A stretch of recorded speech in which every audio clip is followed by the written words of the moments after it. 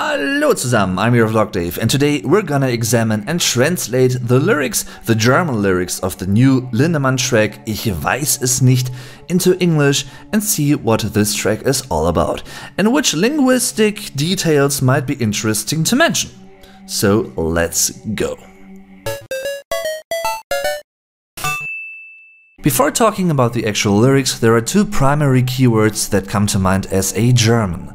Die Identität, Singular, die Identitäten, Plural, the identity, and das Gedächtnis, Singular, die Gedächtnisse, Plural, the memory. Although they perfectly fit the theme of the song, they don't get mentioned directly. In addition, this song also seems to be about self-awareness, which is die Selbsterfahrung or das Selbstbewusstsein in a literal sense, being aware of yourself, of your being. That's why Selbstbewusstsein is an ambiguous German term, and both meanings could fit these lyrics. You are aware of yourself and who you are, or in this case, uh, the opposite of that. And you are selbstbewusst, meaning self-confident. Again, not necessarily the case here. As usual, the German lyrics were written by singer Till Lindemann, usually known as the Rammstein frontman. As the second song on the second Lindemann album F&M, F&M, Ich weiß es nicht, I don't know or I don't know it, begins with the first verse. Ich weiß nicht, wie ich heiße. Ich weiß nicht, wer ich bin, weiß nicht, woher ich komme. Ich geh, weiß nicht wohin. Vergessen alle Tage, vergessen jede Nacht. Wo bin ich gewesen? Was hab ich gemacht? Wie hat das begonnen? Wann fing das an? Wo bin ich gewesen? Was hab ich getan? I don't know what I'm called, or my name. I don't know who I am, don't know where I'm from. I go or walk, don't know where. I go or walk, don't know where to. Forgot all days, forgot every night. Where have I been? What have I done? How did this begin? When did it start? Where have I been? What have I done? Talking about the context, the lyrical I doesn't know anything about themselves, yet they know they don't know. And that's almost philosophical in a way and makes me think of old Greek philosopher Socrates, who also said, Ich weiß, dass ich nicht weiß. I know that I do not know. Doesn't help too much either, knowing that you don't know, but you know. Oh, do you know? Actually, this is the overall theme of the whole track, and along the way the lyrical I basically addresses themselves not knowing anything about the so-called W-Fragen, the W questions in a way. Wer, who, wo, where, wie, how, wann, when, and warum or wieso, why. So to me this either sounds like, okay, they wanted to forget something like willingly, which would be die Verdrängung, the repression of things, or they suffered from a trauma of sorts and they didn't want to forget something, but that basically just happened. In the latter case, we're rather talking about an accident of sorts, an incident that happened and that caused some kind of, well, der Gedächtnisschwund or amnesia, die Amnesie. Talking about this first verse from a linguistic perspective, as you can see, a major term in this is weiß, no, a conjugated form of the first person singular, Präsens, simple present, indicative mode, active of wissen, ich weiß, I know. Nicht is a so-called Verneinung, negation. You might also have noticed that the two terms gemacht and getan at the end of lines 6 and 8 usually get translated to the same term, done. This term is connected to have, have done. It's the same case in German, habe getan, habe gemacht. Again, since this song is told from an Ich-Perspektive, an ego perspective, this verbal phrase is conjugated in the first person, singular, this time in the past tense perfect, present perfect in English, indicative mode active. On a general note, I've already tackled the two often similar terms machen and tun in German in this video, so if you want to learn more about them, check it out in the end card. The song then continues with the pre-chorus. Ich weiß es nicht. Ich weiß es nicht. I don't know it. I don't know about it. In German, you could also say ich weiß nicht by dropping the personal pronoun, since it's vague anyway. I mean, what is es, respectively it, referring to at all? But in German, it's more common to include it, I'd say. In English, however, the shortened form is arguably more common. I don't know versus I don't know it or about it. Translated literally, this phrase would be I know it not, by the way. Ich weiß es nicht. What's interesting about the chorus is that all except the fourth or last line start with the conjunction und, and. Und ich laufe alleine, immer weiter, weiter. Und wenn es regnet, regnet es auf mich. Und die Wolken ziehen immer weiter, weiter. Am Ende nass bin immer ich. And alone I run always further, further. And when it rains, it rains on me and the clouds always move further, further. In the end, it's always me who's wet. The lyrical I either doesn't seem to be able or doesn't want to stand still, reflect on things. That again might be a sort of willingly made decision, or maybe also subconsciously. They know they have to run away from their buried memories or someone or something really bad that has happened to them, or, you know, maybe even something they themselves have done or committed.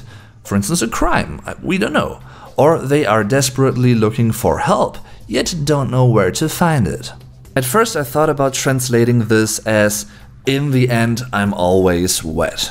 Uh, not in a sexual context, of course. Wouldn't have felt right in this context here because it doesn't put the right emphasis on what the lyrical I actually is expressing here, on what is important.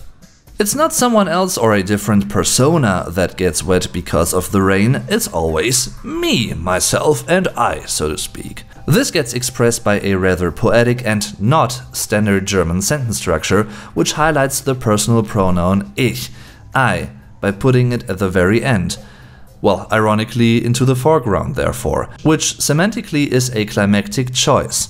Am Ende nass bin immer ich. Usually though, you wouldn't do that in standard German sentences. A more common and normal way to say this would be am Ende or letztendlich, which might as well be a bit more common, bin ich immer nass. However, since this word order puts more emphasis on verb plus adjective, bin nass, am wet, the whole point of this being about the inner perspective of a person would get lost somehow. Plus, the way Till has arranged these terms simply sounds more special and unexpected, since it's a poetic expression, and without this word order, lines 2 and 4 wouldn't rhyme at all.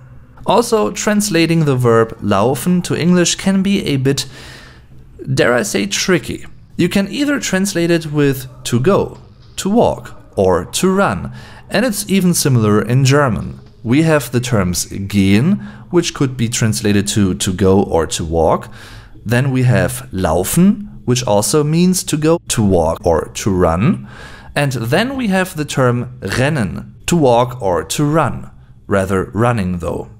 All different states of movement are somewhat connected, yet differ in terms of speed and physical engagement in a way. But technically, the line between laufen and rennen in particular can be quite thin and blurry at times, I'd say. Are you still walking fast or already running? Doesn't make too much of a difference in this case, I don't think though. After this section, the bridge enters. Ich weiß nicht welche Stunde, Ich weiß nicht welcher Tag, weiß nicht, was ich gesprochen und nicht, was ich gesagt. Und so laufe ich weiter, weiter ohne Unterlass. Ich suche etwas, doch ich weiß nicht was.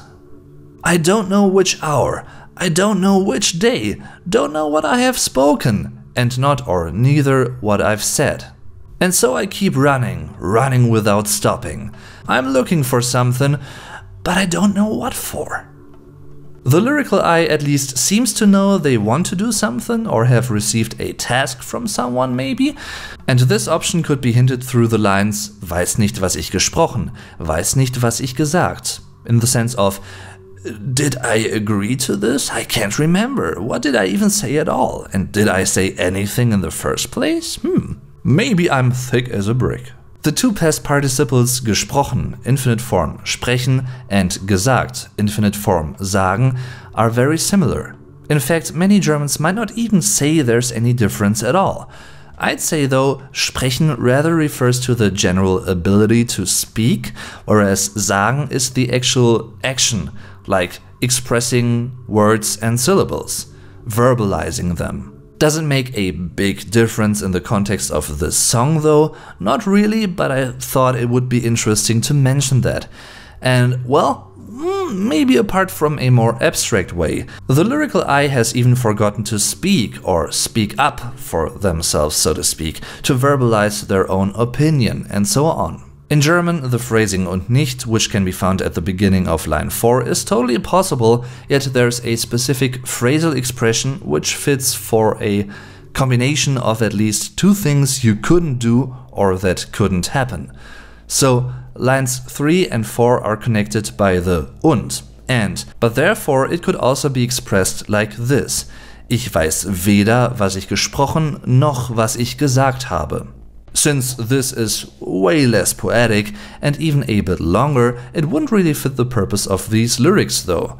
The structure I'm talking about is weder noch, which equals neither nor in English. I neither know what I've spoken nor what I have said. Then verses 2 and 3 follow. Ich laufe ganz alleine, bin immer ganz allein. Überall ist Sonne, nur über mir ist keine. Keine, keine, keine. I'm running all alone. I'm always all alone. Sun is everywhere, yet there's none above me. None, none, none.